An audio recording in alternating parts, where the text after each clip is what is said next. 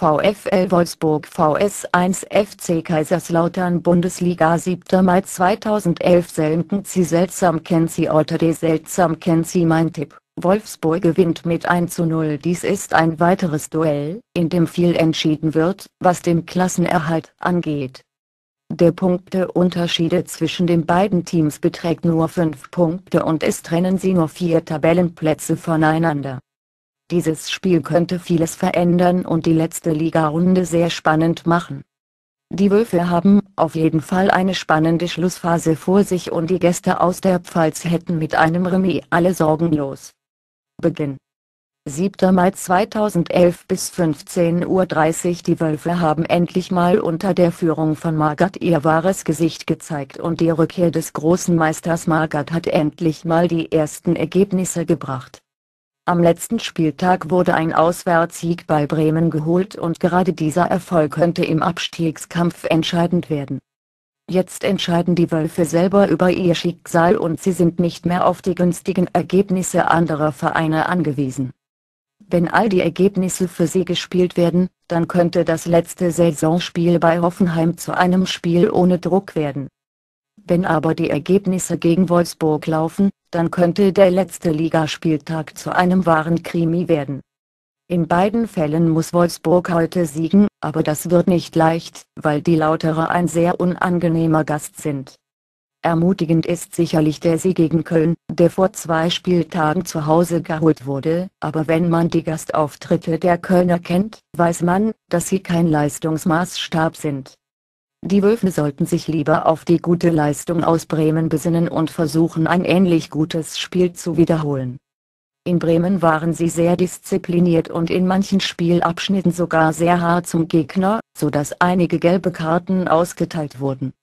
Gerade wegen den Karten ist heute der Angreifer Graffite nicht dabei, aber da er Ehe nicht trifft, ist sein Ausfall nur halbwegs bedauerlich.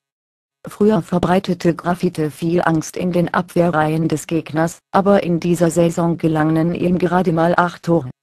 Er wird von Helmes vertreten, der neben dem immer besser spielenden Manzukik für die Tore zuständig sein wird. Der Rest des Teams bleibt unverändert, was verständlich ist, wenn man zwei Siege in Folge hinter sich hat. Voraussichtliche Aufstellung Wolfsburg, Benaglio, Rita, Gier, A. Friedrich, M. Schaffer, Josü, Polak, Cicero, Diego, Helmes, Mandukik Die Lauterer spielten bis zuletzt abwechselnd nach dem Prinzip ein Auswärtssieg folgt einer Heimniederlage, aber am letzten Spieltag wurde St. Pauli auf dem Betzenberg bezwungen.